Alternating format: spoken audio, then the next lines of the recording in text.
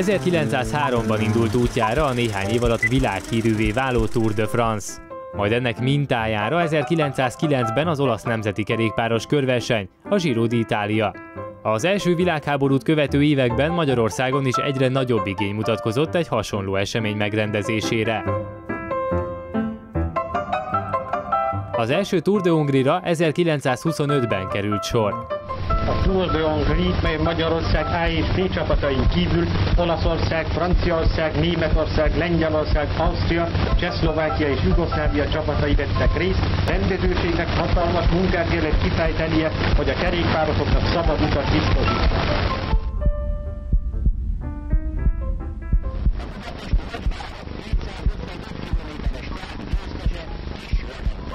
Hazai versenyzőkön kívül francia, lengyel, román és osztrák kerékpárosok szálltak nyerekbe, hogy összemérjék erejüket. A magyar körverseny fejlődését többször megakasztotta a történelem, a második világháború és az 56-os forradalom idején is kimaradt néhány esztendő. De az igazán nagy szünetre a profi országúti kerékpársportot nem támogató kommunista időszakban került sor. 1965-től nagyon hosszú időn át nem rendeztek körverseny Magyarországon.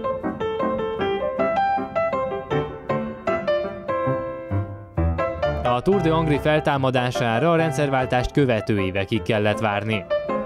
Országunk államformája és neve a viadal 1993 óta újra él, szervezői pedig mindent megtesznek azért, hogy a világ legrangosabb kerékpárversenyei közé verekedje magát.